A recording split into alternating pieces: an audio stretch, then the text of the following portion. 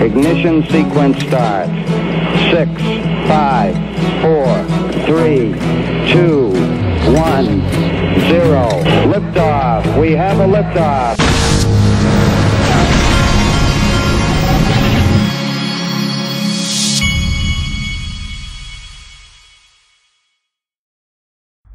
Hey, everybody, this is the Digital Asset Investor, and there's an information overload today.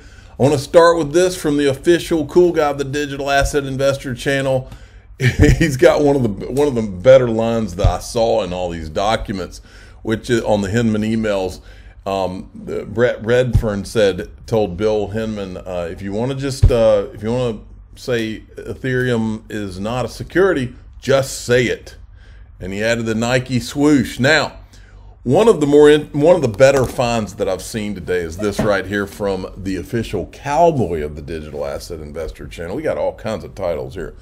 Um, and this was an email from William Hinman on June 4th. It's something simple, but it's significant to me. Subject, Ether speech. In other words, the whole speech was designed to give Ether a free pass. That was the whole point of the speech. We'll, we'll get to that more because John Deaton keeps saying, why did they give the speech? Well, this morning, and I had, I had actually tweeted out that I wanted some cliff notes of all this because there's thousands of documents. And Ripple was ready. Stuart Alderoty put out this video and a long tweet. I'm not going to go through his whole tweet. The video is good enough. I'm going to play all minutes, all four minutes and 38 seconds because it is great. Watch this. On June 14, 2018, then SEC Director of Corporation Finance William Hinman gave a high profile speech where he declared that a token is not a security when it becomes, quote, sufficiently decentralized. But internal emails and documents show that senior SEC officials repeatedly warned Hinman that his speech wasn't true to the law and would greatly confuse the markets even more than they already were. Now, after more than two years and seven court orders, we can finally share some of what we found in the Hinman speech documents. The SEC head of trading and markets warned Hinman that he was making up factors that, quote, go beyond the typical Howey analysis, as in not in the law, and that the speech could lead to not just confusion, but greater confusion on what is a security. Hinman ignored him. If the network on which the token or coin is the function is sufficiently decentralized and the purchasers no longer have a reasonable expectation that a person or a group is going to carry out essential managerial or entrepreneurial efforts, those assets might not represent an investment contract. The same official told Hinman he should tie his speech, quote, more closely and explicitly to the Howey analysis. Hinman not only ignored him, but and deliberately created. By the way, the reason that they're telling him that is because you can't just go out and give a speech and all of a sudden there's a new test or there's an add-on to the Howey test. It requires the courts. They can't do that. And so why did he do it? Just beyond those identified by the Supreme Court in the Howey case. I wanted to just note a few things. This list is not meant to be exhaustive, but these are things that we look at. The SEC's own general counsel warned specifically that it's legally irrelevant if someone retains a stake in a token and is motivated to take action to increase its value, and that Hinman should delete it from the speech. And once again, Hinman ignored them and said without any legal support that it was important to ask. Has that person or group retained a stake in, or other interests in the digital asset such that it would be motivated to expend efforts to cause an increase in the value of the digital asset? Both Trading and Markets and the General Counsel also disagreed with Hinman's belief that if a network was sufficiently decentralized, information asymmetries would no longer exist, noting that a network creator would likely have more information than a retail holder, using Vitalik Buterin as an example. They warned Hinman that by creating this quote, other category and focusing on information asymmetries, he was exposing a regulatory gap that the SEC may not have the jurisdiction to fill. Again, Hinman ignored them. As the network becomes more truly decentralized, the ability to even to identify a promoter or to make the requisite, and someone that could actually make the requisite disclosures becomes in many cases difficult or um, and perhaps much less meaningful. On June 4th, Hinman wrote that he didn't see a quote, need to regulate Ether as a security, and set up a call with Ethereum's co-founder Vitalik Buterin later that week to quote, confirm our understanding. On June 11th, the SEC's own general counsel advised against including any direct statement about Ether in the speech because it would be difficult for the SEC to, quote, take a different position on Ether in the future. The next day, Trading and Markets wrote that the statements about Ether were, quote, likely to create more confusion. Hinman ignored all of them and decided to make headlines, picking winners and losers instead. Moreover, putting aside the fundraising that accompanied the creation of Ether, based on my understanding. Putting aside the fact that you just robbed a bank, uh, you are now no longer a bank robber because I, Bill Hinman, said so. The present state of Ether, the Ethereum network, its decentralized structure, we believe current offers and sales of Ether are not securities transactions. The emails show that Hinman knew he wasn't following the law. He knew he was making things up. And he knew that his speech would result in greater confusion in an already confused market. But Hinman went ahead with the speech anyway. And the SEC, despite knowing all this, touted the speech repeatedly. The SEC chairman himself pointed market participants to the speech. Bill Hinman recently outlined the approach we take to evaluate whether a digital asset is a security, and I encourage you to take a look at Bill's speech which is available on our website. The SEC knew the speech didn't follow the law. The SEC knew the speech would create greater confusion. And the SEC knew Hinman was making things up. So why is the Hinman speech still on the SEC's website? Why was it ever allowed to be given at all? And why has the SEC pushed a policy of regulation by enforcement, falsely insisting the rules are clear? Exactly. Now, John Deaton retweeted this and he said something very important. From Ripple's general counsel, he's taking the high road, in my opinion. It's time to ask for an IG inspection at a minimum. And he's asking Congress. Um, this this is something that uh, the uh, the IG, the uh, internal, what do they call it? Anyway, at the SEC, my understanding is that if if if the if Congress asks for this, all of a sudden, I think I want to say that I heard it that that could that then um, John Deaton or I don't know if he could or somebody would be able to get some subpoena power. If they could get subpoena subpoena power, now remember, see this stuff's one thing, but I believe that there was a lot more communications going on. Remember, Bill Hinman was um, counsel. We've seen the, the screenshots of his Gmail account, account on a list of people who were were working with. I can't remember. If, I think it was the Enterprise Ethereum Alliance or the or the Brooklyn Project. It was one of those, and he was one of the advisors behind the scenes. And I think that that's where the those emails if they order an IG inspection, then those emails could be gotten to, subpoenas could fly. Then it could get really interesting because I believe there's all kinds of stuff.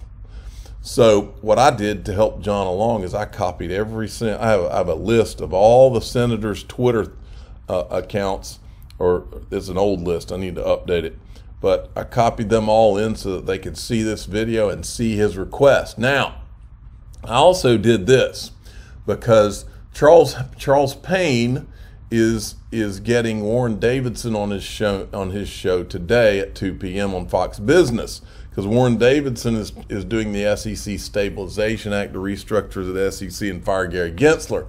So I said, Charles, ask Warren Davidson why he hasn't asked for an IG inspection at the SEC yet, because that's what that is what we need. Um, then Brad Garlinghouse tweeted the Ripple video and he says it's absolutely unconscionable that a regulator, when presented with so much pushback on what was about to say, how he compiled his fake test, exactly, fake test in the first place, decided to move forward anyway and throw an entire industry into chaos by design. For the SEC to sue Chris Larsen and me personally for allegedly selling unregistered securities when their own division had deliberately created confusion that that that this well I don't have have a single polite word to describe this deplorable politically motivated overreach. Seeing the depth to which the SEC has essentially weaponized the lack of regular, regulatory clarity through enforcement actions Since this speech was given, it's no no surprise that we can call bluff on their claims to just come in and register as nothing uh, but but in bad faith. Then we had, um, and I had a question: How much of that two hundred million dollars Ripple spent was wasted on proving Bill Hinman and, and the SEC were lying about the Ethereum free pass speech? Who pays them back? Now, then we had this: Charles Gasparino is coming out of left field here, folks. Fascinating stuff. I know the knee jerk react the knee jerk from the XRP community will be this proves a fraud. It doesn't. It prove it does prove Hester Peirce argument. We need a safe harbor in crypto. We need to stop regulation by enforcement, and Congress needs to set digital coin ground rules now. Brad Garlinghouse took issue with it. I won't use the fraud word. I'm not a lawyer and I don't know the precise legal threshold. But I think we can all agree that our government should act with integrity. The SEC, despite the industry asking for clarity, is actively approaching crypto in bad faith. And Gasparino says, I don't know about bad faith. Man, I have to disagree there. Bad faith is very clear.